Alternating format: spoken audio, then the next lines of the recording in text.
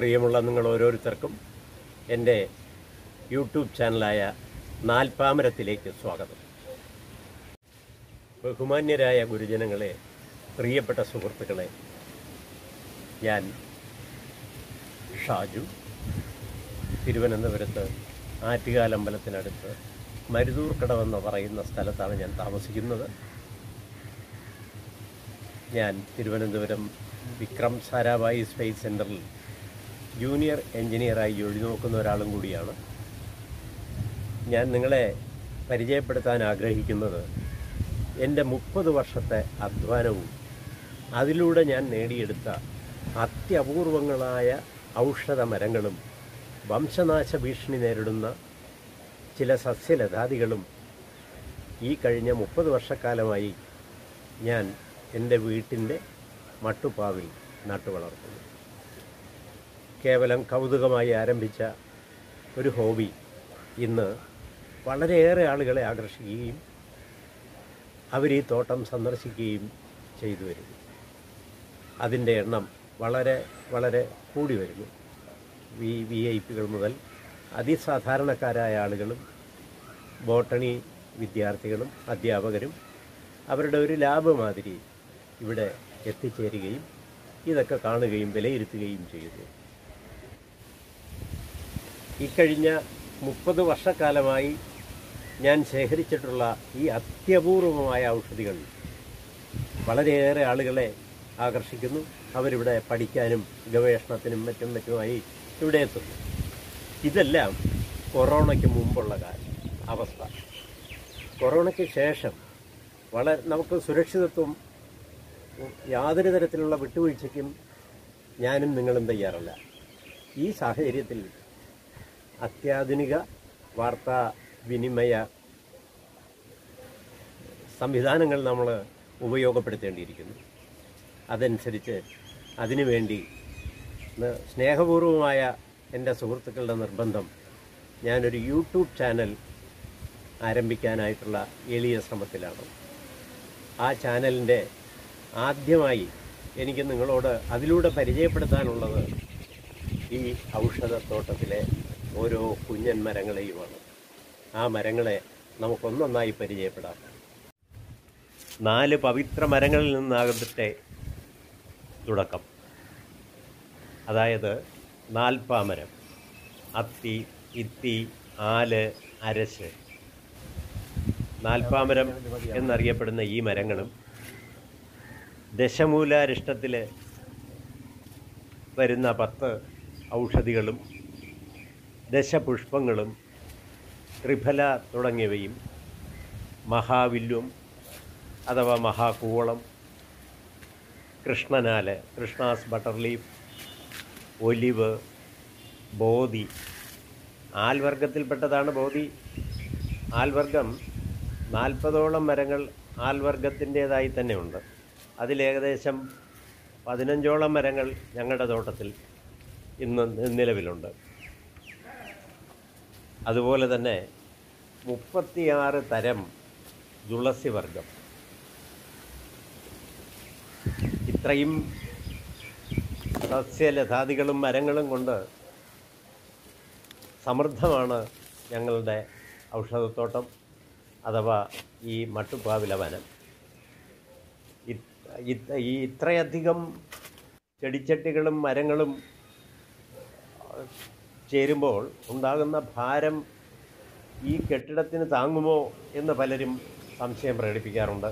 അതിൽ പ്രത്യേകിച്ച് ഇവിടെ വന്ന് കാണുന്നവർക്ക് അതിശയം കൂറാറുണ്ട്. നിങ്ങളുടെ വീട്ടിന്റെ മുകളിൽ ഇത്രയധികം ഭാരമുണ്ടല്ലോ എന്ന്. പക്ഷേ മുപ്പത് വയസ്സായ എന്റെ ഈ വളരെ ചിലവ് കുറഞ്ഞ രീതിയിൽ നിർ നിർമ്മിച്ച ഈ കെട്ടിടം ഇന്ന് വരെ ഭാര കൂടുതൽ കാരണം ഒരു പോറലോ ഒരു വിള്ളലോ ഒന്നും ഉണ്ടായിട്ടില്ല എന്ന് മാത്രമല്ല ഇത് തരുന്ന ഒരു പ്രത്യേക സുഖം. വെയിലടിക്കുന്ന മട്ടുപ്പാവിന്റെ മുകളിൽ മുപ്പത്തി രണ്ട് മുപ്പത്തിനാല് ഡിഗ്രി വരെ ചൂട് വേനൽക്കാലത്ത് കയറുമ്പോൾ വീട്ടിനുള്ളിൽ അത് ഇരുപത്തിയെട്ട് ഡിഗ്രിയിലേക്ക് താഴ്ത്തിയെടുക്കാൻ കഴിയുന്നത് ഈ ഔഷധ കാടുകൾ കൊണ്ട് മാത്രമാണ് എന്ന് പറയാൻ ഞങ്ങൾക്ക് വളരെ സന്തോഷമുണ്ട്.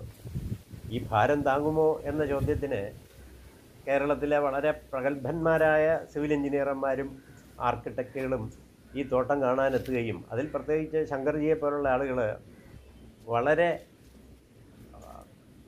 അന്വേഷണ താല്പര്യത്തോടു കൂടി തന്നെ ഇത് വിലയിരുത്തുകയൊക്കെ ചെയ്തിട്ട് എന്നോട് പറഞ്ഞിട്ടുണ്ട്.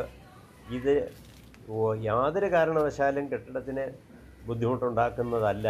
ഈ ഭാരം കൊണ്ടൊന്നും കെട്ടിടത്തിന് ഒരു നാശവും സംഭവിക്കുകയില്ല എന്ന്. അതുപോലെ വളരെ ചെലവ് കുറഞ്ഞ രീതിയിലാണ് ഈ മരങ്ങളെയെല്ലാം നിലനിർത്തുന്ന ചട്ടിയുടെ നിർമ്മാണം. ഇതും ഞങ്ങൾ സ്വയം നിർമ്മിച്ചെടുക്കുന്ന ചട്ടികളാണ്. സിമന്റ് പല രൂപത്തിൽ ചിരട്ടകൾ മോൾഡാക്കിക്കൊണ്ട് അല്ലെങ്കിൽ മറ്റെന്തെങ്കിലും കുപ്പിയോ ടയറോ ഒക്കെ മോൾഡാക്കിക്കൊണ്ട് അതിന്റെ പുറത്ത് സിമന്റ് തേച്ച് നിർമ്മിച്ചെടുക്കുന്ന ചെടിച്ചട്ടികൾ വളരെ ചിലവ് കുറഞ്ഞ രീതിയിൽ നമുക്ക് നിർമ്മിച്ചെടുക്കാൻ കഴിയും. അത് നമ്മുടെ ഭാവനയ്ക്ക് അനുസൃതമായി.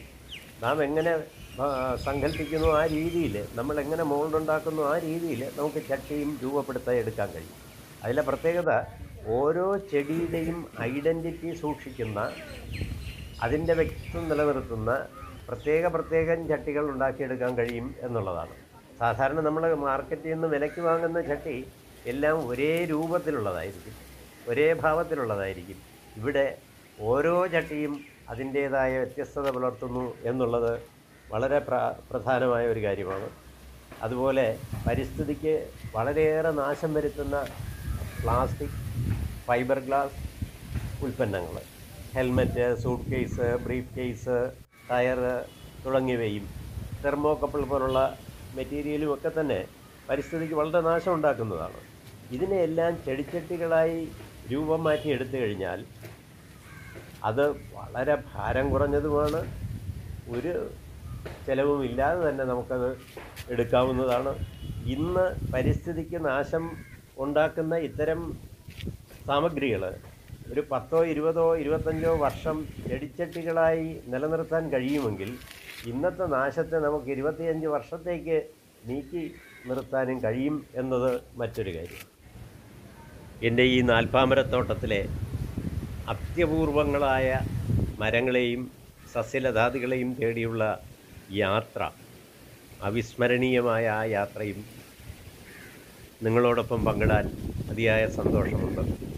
കാര്യം ഒരു ഒരു ചെടിയോ ഒരു മരമോ അത് നിൽക്കുന്ന സ്ഥലത്ത് പോയി അത് ശേഖരിക്കുക എന്ന് പറയുന്നത് തികച്ചും ശ്രമകരമായ ഒരു ജോലി തന്നെയാണ്. പ്രത്യേകിച്ച് ഇപ്പോൾ ഹിമാലയ ഭാഗത്തോ കാശ്മീരിലോ ഉള്ള മരം ആ മരത്തെ തേടി ആദ്യം അത് അന്വേഷിക്കണം അതേക്കുറിച്ച് അറിയണം അത് കണ്ടെത്തി കൊണ്ടുവരണം. ഇതും വളരെ ശ്രമകരമായ ഒരു ജോലിയാണ്. അങ്ങനെയുള്ള അനേകം യാത്രകൾ കേരളത്തിലെ ഒട്ടുമുക്കാൽ വനങ്ങളിലും നമ്മുടെ അയൽ സംസ്ഥാനങ്ങളിലെ വനങ്ങളിലും ഒക്കെ തന്നെ നിരന്തരം യാത്ര ചെയ്യാനും ആ യാത്രകളിലൂടെ നേടിയ ഈ കരുത്താണ്. കൊച്ചു കൊച്ചു വിത്തുകളാണ് ആ കരുത്തായി മാറിയത്. അതിന്നൊരു വൻമരങ്ങളുടെ ചെറുകാടായി ഞങ്ങളുടെ മട്ടുപ്പാവിൽ മാറിയിരിക്കുന്നു. ഈ ചെടികൾക്ക് ഒന്നും തന്നെ നാളിതുവരെ യാതൊരു വിധമായ കൃത്രിമ വളപ്രയോഗങ്ങളും നടത്തിയിട്ടില്ല എന്നതും വളരെ സന്തോഷം തരുന്നൊരു കാര്യമാണ്. ഇതിനു വേണ്ടിയുള്ള വളം ഞങ്ങൾ സ്വയം നിർമ്മിച്ചെടുക്കുന്നു. ബയോഗ്യാസ് പ്ലാന്റിൽ നിന്ന് ലഭിക്കുന്ന സ്ലറി ഈ ചെടികളെയെല്ലാം പുഷ്ടിപ്പെടുത്തുന്നു. അതുപോലെ തന്നെ ഈ തോട്ടത്തിൽ നിന്ന് വീണ് കിട്ടുന്ന പ ഇലകൾ ഉണക്ക ഇലകളെയെല്ലാം ശേഖരിച്ച് വെച്ചിട്ട് അത് കമ്പോസ്റ്റാക്കി രൂപപ്പെടുത്തി ഉപയോഗിക്കുന്നു. ഒരു തരത്തിലുള്ള വളവും നാളിതുവരെ ഉപയോഗിച്ചിട്ടില്ല എന്നത് വീണ്ടും വീണ്ടും പറയാൻ സന്തോഷമുള്ള കാര്യമാണ്. അതുപോലെ തന്നെ കീടനാശിനി. യാതൊരു വിധമായ കൃത്രിമ കീടനാശിനികളും ഉപയോഗിക്കാറില്ല. ഈ ഔഷധത്തോട്ടത്തിലുള്ള ചില ഇലകളെ ചേർത്തുകൂട്ടി ഉണ്ടാക്കുന്ന അതിന്റെ ചാറും മറ്റും സ്പ്രേ ചെയ്ത് കീടങ്ങളെ അകറ്റുന്നു. അത് സ്വയം ചെയ്യുന്നതിനേക്കാൾ ഉപരി മരങ്ങൾ തന്നെ പരസ്പരം ചെയ്യുന്നു എന്ന് എനിക്ക് പറയാൻ കഴിയും. കാര്യം ഒന്ന് മറ്റൊന്നിനെ സംരക്ഷിക്കുന്ന വനത്തിലെ അതേ അന്തരീക്ഷം തന്നെ നമ്മുടെ മട്ടുപ്പാവിനും ചെയ്തെടുക്കാൻ കഴിഞ്ഞിരിക്കുന്നു. അതുപോലെ പരിസ്ഥിതി സൗഹൃദത്തിന്റെ വലിയൊരു ഉദാഹരണമാണ് സോളാർ എനർജി ഈ തോട്ടത്തിന്റെ നടുവിൽ സ്ഥാപിച്ചിട്ട് അതും ഉപയോഗിച്ചു വരുന്നു. കിണറ്റിൽ മഴവെള്ള സംഭരണിയായി കിണറിനെ രൂപപ്പെടുത്തി അതിൽ നിന്നും ലഭിക്കുന്ന മഴവെള്ളം ഞങ്ങൾ ഈ ചെടികൾ നനയ്ക്കാൻ ഉപയോഗിക്കുന്നു. നാൽപ്പാമരം ചാനലിന്റെ ഉദ്ദേശ ലക്ഷ്യങ്ങൾ നിങ്ങളുമായി പങ്കുവയ്ക്കാൻ ഞാൻ ആഗ്രഹിക്കുന്നു. ഇത് എന്തുകൊണ്ട് ഈ ചാനൽ തുടങ്ങുന്നു എന്ന ചോദ്യമാണ് ആദ്യം. തുടങ്ങാനുണ്ടായ മുഖ്യ കാരണം ഞാൻ ഇതിനു മുമ്പ് പറഞ്ഞിരുന്നു. വളരെയേറെ സുഹൃത്തുക്കളുടെ സ്നേഹപൂർവമായ നിർബന്ധം. ഇത് കൂടുതൽ കൂടുതൽ അടുത്ത തലമുറയിലേക്ക് എത്തിക്കണം. പ്രത്യേകിച്ച് കുട്ടികളിലേക്ക് ഇത് ഈ സന്ദേശം എത്തിക്കണം എന്നതൊരു കാര്യം. മറ്റൊന്ന് ഇന്ന് വംശനാശ ഭീഷണിയിൽ നിൽക്കുന്ന ആയുർവേദ സസ്യങ്ങൾ മരങ്ങൾ ഇതൊക്കെ തന്നെ നമുക്ക് സംരക്ഷിക്കപ്പെടേണ്ടതാണ്. മറ്റൊരു കാര്യം പല സസ്യങ്ങളെയും പലർക്കും തിരിച്ചറിയാൻ കഴിയുന്നില്ല എന്നതാണ് വസ്തുത. പല കാരണങ്ങളുണ്ട്. ഒന്ന് ഈ ആയുർവേദ സസ്യങ്ങൾ കാസർഗോഡ് അറിയുന്ന പേരിലല്ല തൊട്ടടുത്ത കോഴിക്കോട് അറിയുന്നത്. കോഴിക്കോട് അറിയുന്ന പേരിലല്ല തിരുവനന്തപുരത്ത് അറിയുന്നത്. ഇങ്ങനെ പല സ്ഥലത്ത് പല പേരുകളിൽ അറിയപ്പെടുന്നത് കാരണം പലർക്കും ഇത് തിരിച്ചറിയാൻ കഴിയുന്നില്ല അത് ഉപയോഗിക്കാൻ കഴിയുന്നില്ല അത് പ്രയോജനപ്പെടുത്താൻ കഴിയുന്നില്ല എന്നതാണ് സത്യം. അപ്പം ഇതിനെല്ലാം നമുക്ക് പരിഹാരം കാണണമെങ്കിൽ ഇത്തരം മാധ്യമങ്ങളിലൂടെ ഇത്തരം സന്ദേശങ്ങൾ നമ്മൾ കൈമാറേണ്ടതുണ്ട് പ്രചരിപ്പിക്കേണ്ടതുണ്ട്. അതിന് നിങ്ങളുടെ എല്ലാവരുടെയും സ്നേഹപൂർവമായ സഹകരണവും സാന്നിധ്യവും ഒക്കെ ഇതിനുണ്ടാകണം. എങ്കിൽ മാത്രം ഇതൊരു കൂട്ടുത്തരവാദിത്വമാണ്. ഇതൊരു ഒറ്റയാൻ യാത്രയല്ല എന്ന് ഞാൻ എപ്പോഴും പറയാറുണ്ട്. ഇതൊരു കൂട്ടുത്തരവാദിത്വത്തിന്റെ കാര്യമാണ്. അടുത്ത തലമുറയ്ക്ക് നമ്മൾ കൊടുക്കേണ്ട സന്ദേശമാണ് ഇത്തരം സസ്യങ്ങൾ അതില്ലെങ്കിൽ നമുക്ക് സർവനാശമായിരിക്കും. പ്രത്യേകിച്ച് കൊറോണ പോലുള്ള കാലത്ത് നാം അത് അനുഭവപ്പെട്ടുകൊണ്ടിരിക്കുകയാണ്. ഔഷധം പോലും ഇല്ലാത്ത ഒരു മഹാമാരി. ഇതെല്ലാം ഒരു കാലത്ത് നമ്മുടെ ആയുർവേദം ഇതിനെല്ലാം മറുപടി പറഞ്ഞിരുന്നു. ഇന്നത് അന്യം നിന്നു പോകാൻ അനുവദിക്കരുത്. നാം അത് കാത്തു സംരക്ഷിക്കണം. അതിനു വേണ്ടിയാണ് ഈ നാൽപ്പാമരം ചാനൽ നിങ്ങൾക്ക് വേണ്ടി നിങ്ങളിലൊരുവനായി ഞാനിത് സമർപ്പിക്കുന്നത്. അതിൽ നിങ്ങളുടെ സാന്നിധ്യവും സഹകരണവും വീണ്ടും വീണ്ടും പ്രതീക്ഷിക്കുന്നു. ഈ തോട്ടം സന്ദർശിക്കുന്നവർക്ക് സൗജന്യമായി ചെടികളും മരത്തൈകളും വിതരണം ചെയ്തും കേരളത്തിലുടനീളം സഞ്ചരിച്ച് ആരാധനാലയങ്ങളിലും മറ്റ് കേന്ദ്ര സംസ്ഥാന സർക്കാർ ഓഫീസുകളിലും മരങ്ങൾ നട്ടുപിടിപ്പിച്ചും വനവൽക്കരണത്തിന് ഞങ്ങളും ഞങ്ങളുടേതായ പങ്ക് വഹിക്കുന്നു. മരബന്ധുക്കളുടെ ഒരു കൂട്ടായ്മ. അതാണ് ഞങ്ങളുടെ കരുത്ത് എന്ന് തന്നെ പറയാം. വിദഗ്ധരായ ബോട്ടണി പ്രൊഫസർമാരും മറ്റ് ഉന്നതരായ വ്യക്തികളും സാധാരണക്കാരും വീട്ടമ്മമാരും അടങ്ങുന്ന ഈ മരബന്ധുക്കളുടെ കൂട്ടായ്മ ഞങ്ങളുടെ പ്രവർത്തനങ്ങളെ വളരെ പുരോഗതിയിലേക്ക് എത്തിക്കുന്നു.